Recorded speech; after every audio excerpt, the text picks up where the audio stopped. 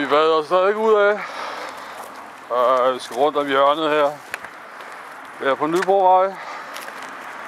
Og når jeg kommer rundt om hjørnet her, og min cykel med. Men øh, der er rigtig meget trafik i dag, og mennesker, der løber og cykler. Men øh, det er fantastisk øh, søndagsvejr. Og klokken må være ved at være halv 11. Og det bliver varmere og varmere og varmere. Så... Men øh, vi er ved at være på vej ned i Frederiksdal. Øh, jeg skal rundt om hjørnet her.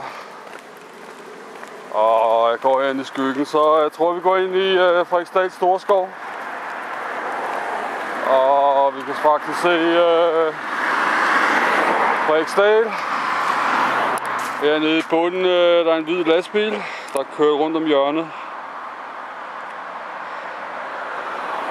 Men øh, hernede, og vejen går til højre, er der øh, den der bro med kanulejning. Men øh, jeg ved ikke, om man kan se det. Men øh, det er også helt dernede i bunden her.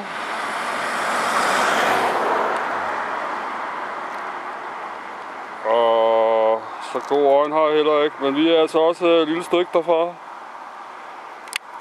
Og det er reporter John Olsen, Mongo TV. Vi øh, ankommer til Frederiksdal i øh, øjeblik. Og vi skal bare ned ad bakken, og det gør vi så.